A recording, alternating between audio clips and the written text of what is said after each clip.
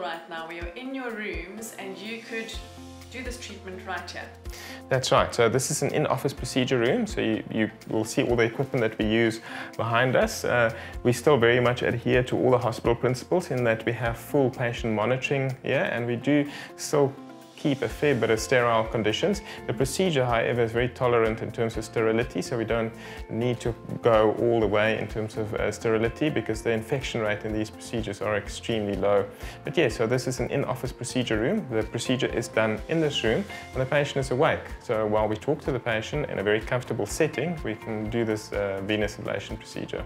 And as you mentioned, really cost effective because you don't have any of the hospital fees, you don't have to pay a general, you don't have to pay an anaesthetist. Absolutely. So from a patient's perspective, they don't need to be admitted at a horrible hour, five or six o'clock in the morning, and then wait the entire day in the ward Not to eating for three days leading Yes. up to the operation. Absolutely. So the patient comes here, we give them an appointment time. Procedure takes about half an hour.